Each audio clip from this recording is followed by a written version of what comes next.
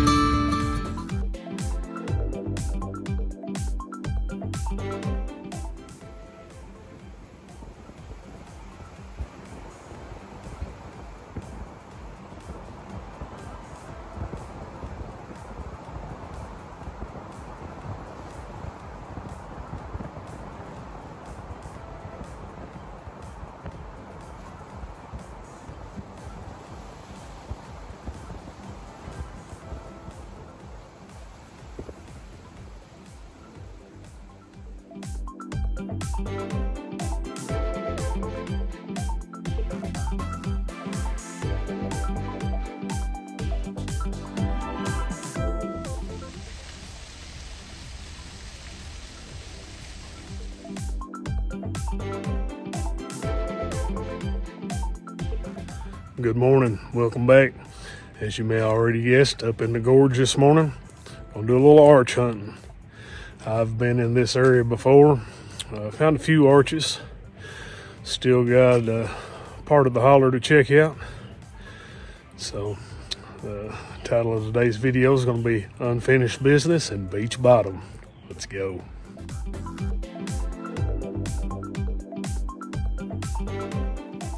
If you're curious as to where the name Beech Bottom came from, prior to my first visit in this area arch hunting, I'd saw a Cumberland National Forest map from the 60s. And on that map, this area was labeled Beech Bottom.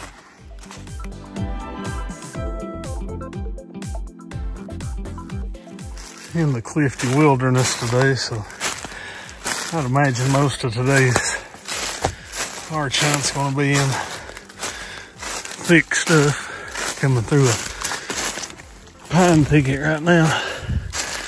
As we get closer to the cliff line, we'll start running into some rhodo though. There's where our cliff line starts. And there's where our rhodo starts.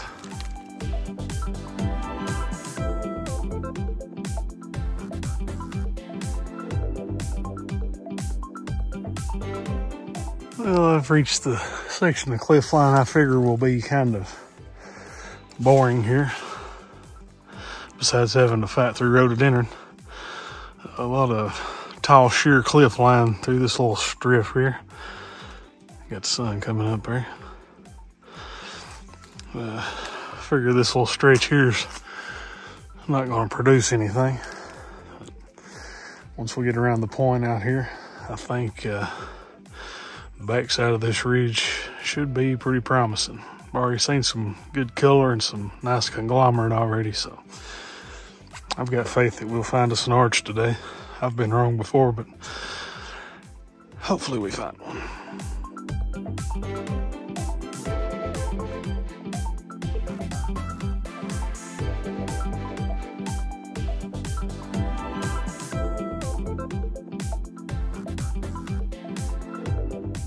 Over there's the point I'm looking for, so hopefully as soon as we get around that, we kind of get away from the probably 100 foot sheer cliff lines and get into a little broken up cliff line.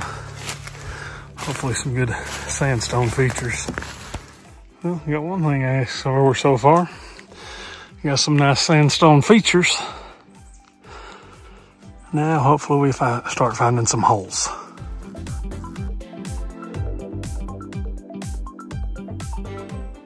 Just a recess here in the cliffside, but it's a start.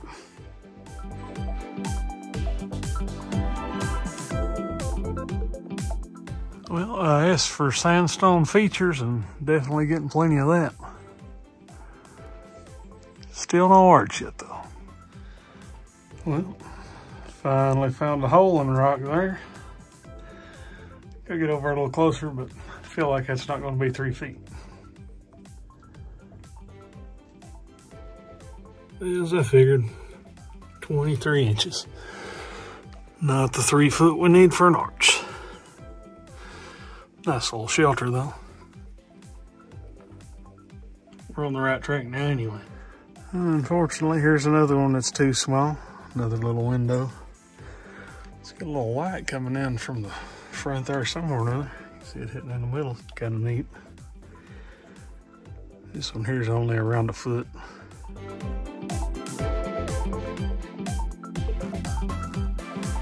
Well, the lower cliff line didn't produce anything for us. Worked my way around to the end of the lower cliff line. Made our way up to the second level here. Hopefully we'll find something out through here. Came across another nice sized rock shelter here. Got pretty excited looking at the front of this. Thought this might be a pretty nice arch as it had the right shape. The good news is it is an arch. The light opening just ain't what I was anticipating it to be. But we do have over three feet. So we do have an arch.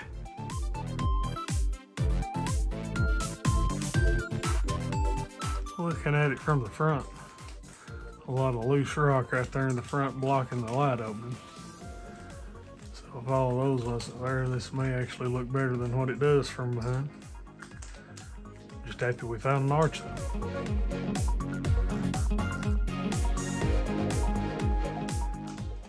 This span arch has great shape. If uh, all the clutter wasn't there across the top of it, it'd be a really nice looking arch. Too bad there's just a cap rock there instead of that being solid. That'd been a decent little find. And the last rock shelter of the second story cliff line here. Starting back out just happened to spot this little pillar over here. I'm gonna measure him, but I feel like this is just another window. I don't think we got three feet there. Measure him and see though.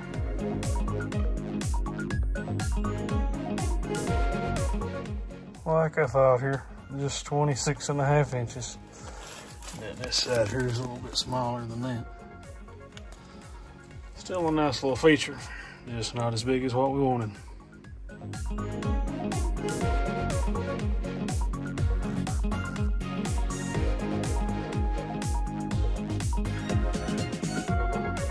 Decided not to backtrack the way I came. Saw a spot out here on the point of the ridge where I could get to the top.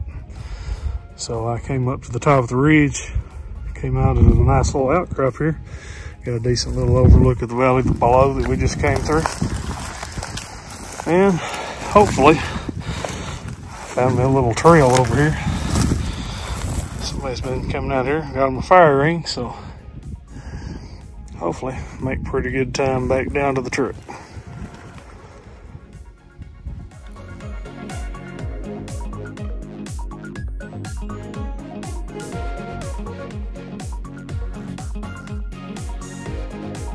Well, the upside to this uh, bushwhack back off the ridge top, all the rhododendron is off both sides, and the spine of this ridge out through here is fairly open, so making it a whole lot easier than going back down to the cliff line and bushwhacking rhodo. Looks like I'm not the only one been out through here this morning. Like we've had a deer out through here.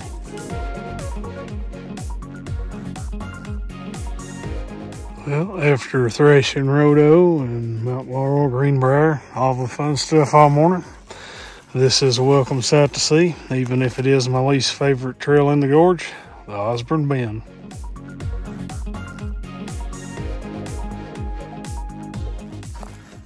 You never hear me saying anything good about the Osborne Bend. As I said, it is my least favorite trail in the gorge, even though I do find myself on it several times each year. The uh, only good thing about the Osborne Bend is, is it's kind of a easy route into the Clifty Wilderness. Makes a big loop through the middle of it, so it allows a little easier access to some areas. And after you've been bushwhacking all morning, it makes a whole lot easier hike back to the truck.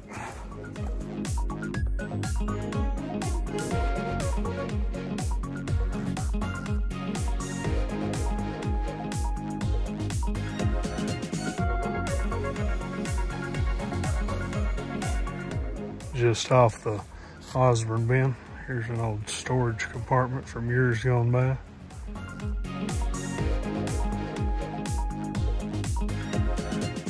Here's another one. This one's a little bigger. Full size doorway you could walk into standing up.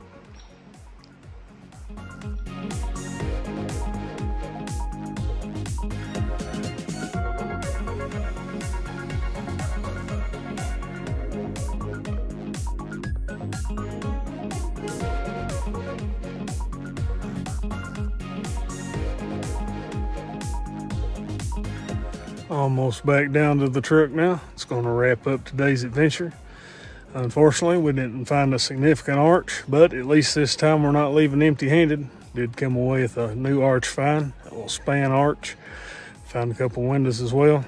A lot of nice geology. Uh, even came out and found that overlook on the way back out. So, pretty good day in the woods. Hope you enjoyed today's adventure. If you would, be sure to give it that thumbs up. Helps out the channel. If you haven't already, consider subscribing. Hope to see you guys again soon. Thanks for watching.